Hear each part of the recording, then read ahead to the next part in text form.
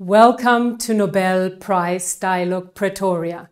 It is our first Nobel Prize Dialogue in Africa, and we have people around the globe watching. Today, five Nobel laureates are joining us together with other accomplished speakers to talk about the future of work. The current pandemic has made us think about how we will work in the future, how our working life will be, but also about how we want it to be, and about what skills we need to develop for building more resilient and inclusive societies. If we are to solve our big challenges, such as climate change, health issues, and inequality, we need to invest in scientific research, but also in technological innovation. But intellectual excellence is not enough. We need to improve our social and emotional skills, such as respect for others, empathy, and kindness. I hope this day will inspire you to discover new ideas, stimulate you to ask new questions, questions that you hadn't thought about before. It is in this spirit that we organize Nobel Prize Dialogue, where we have informed cross-sector discussions about our big global challenges. It is a joy to virtually be in South Africa, celebrating human achievements and imagination within science, humanities, and peace work in the spirit of the Nobel Prize. Also, to celebrate the South Africans that have been awarded the Nobel Prize, such as Nelson Mandela, Albert Lutuli, Nadine Gordimer, and Max Theiler. To conclude, I would like to thank our Nobel International partners for your long-term commitment, our friends at the University of Pretoria for this great collaboration, my outstanding colleagues led by Lena Abramson and Adam Smith. To you all joining us from around the world, enjoy the session. Thank you very much indeed, Lara.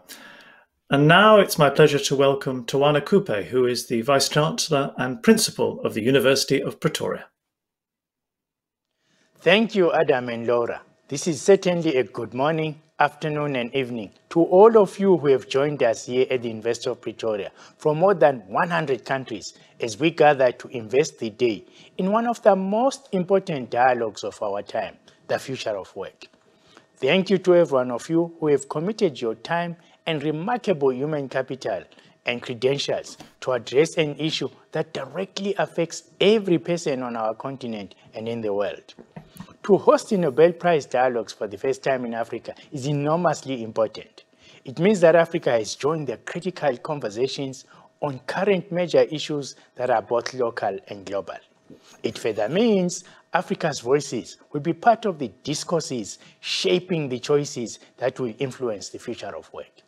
We chose the theme of this dialogue, the future of work, because we face what the International Labour Organization describes as the global mega trends sweeping across the world and encountering economies and societies at vastly different stages of development with wildly diverging capacities to take advantage of ever-advancing technology. As the Vice Chancellor of a leading research-intensive university, this excites me because Universities are at the forefront of this revolution that has been accelerated by the COVID-19 pandemic. The University of Pretoria is launching a Center for the Future of Work to research the emerging world of work and create knowledge about it that can inform policies, regulations, and practices for our country, continent, and world to be future fit.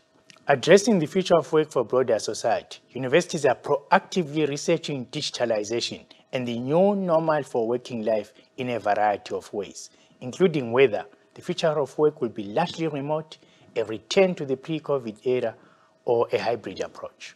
The latter is the most likely, and we need to engender an entirely new work-life culture for this, with technology as an equalizer, enabler of productivity, employment, and lifelong learning for all citizens.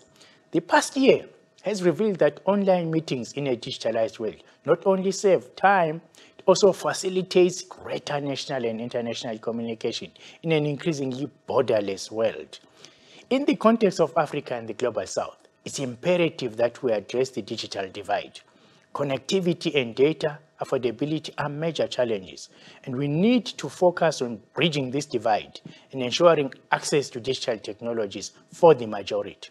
We must be careful that digital technologies do not act as an enabler to deepening inequality and discrimination. This requires an active human social shaping hand to get the best out of the potential of the technology. At the same time, we need to hold governments accountable in realizing access to universal broadband as an enabler for the future of work, education, and access to information and basic services. We also need corporates, internet service providers, and mobile communications companies to play their part in contributing to affordable data that is available and accessible for all. Successfully scaling Africa's demographic dividend will be a major contributor to human capital needed to drive the world's development, ensuring full and productive employment and decent work for all as SDG 8 calls for. How we achieve this is in our hands. It's a gigantic, highly stimulating challenge, just as today is Africa's first time to stage the Nobel Prize dialogues. I can confidently say Africa will embrace the opportunities to benefit from the emerging world of work, contributing from its context, unique perspectives and approaches. I look forward to hearing your contributions today. Thank you.